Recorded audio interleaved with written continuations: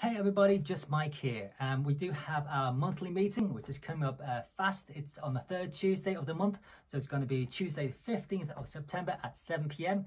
It's a Zoom link, and on the Zoom link, the Zoom webinar, we're going to be inviting our guest, Nick Gittins. And Nick is uh, a really great guy, and he uses a particular tool to acquire properties.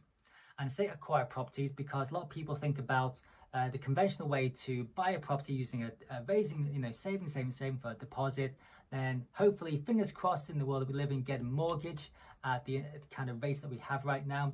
And fingers crossed, if the surveyor goes uh, uh, ahead and everything goes fine, then you'll be able to hopefully go through the process to get a property.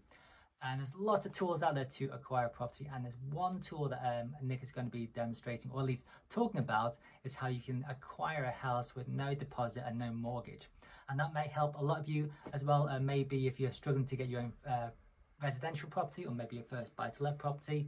So if those are kind of things uh, you want to learn in terms of the tips and tricks that people do in these in the multiple tools in the toolbox to acquire property, then I'd like to invite you to the next meeting on Tuesday.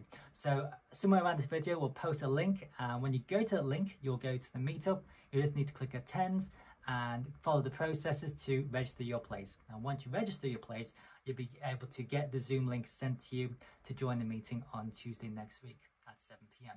So we hope to uh, see you there and look forward to speaking to you soon. Thanks and bye for now.